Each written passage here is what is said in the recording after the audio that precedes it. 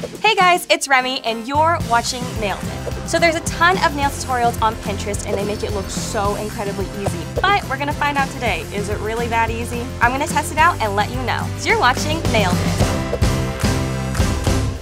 So in today's episode, I'm going to attempt this flamingo nail tutorial. I am extremely worried about this. It looks very, very hard and challenging, and I don't know if my amateur nail skills can handle this. But these tutorials are for everyday people, so uh, let's take it to the test.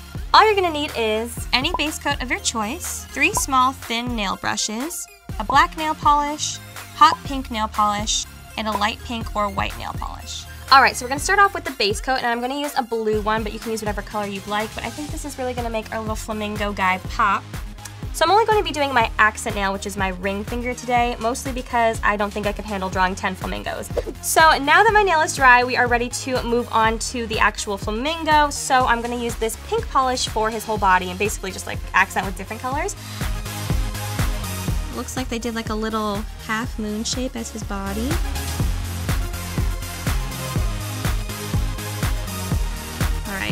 So far, so good. Now I'm gonna take a really tiny brush and draw like his head and his neck. It looks like they did like a little, almost like a question mark shape.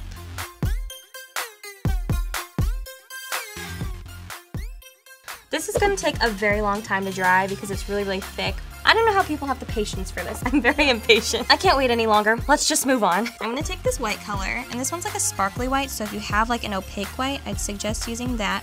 We're gonna draw, oh, I'm scared. I'm so scared. Ah!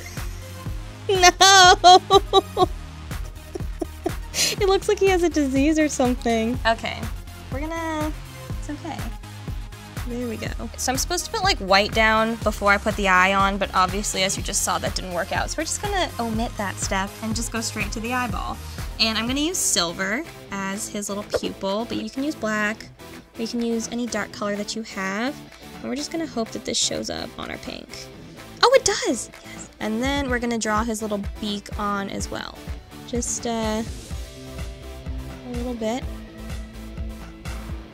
Oh, this looks great.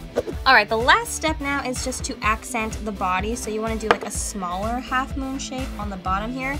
I don't know how this is gonna turn out because it's still really, really wet, but we'll try looks like his little wing. All right, so I'm gonna stop while I'm ahead now. You're supposed to add like white accents and things like that, but I don't think my nail could hold any more paint on it right now. I think you can kind of see that it looks like a flamingo, and I'm actually very proud of myself. I love arts and crafts just as much, probably more than the next person, but this was way harder than I was expecting. I'm actually very proud of my work though, and it was really fun to do. What do you guys think? Did I nail it? Let me know down below in the comments, and also let me know if you have any tips or tricks for me to make it better next time. Thanks so much for watching. Be sure to subscribe down below, and I'll see you guys next time on Nailed It. Bye!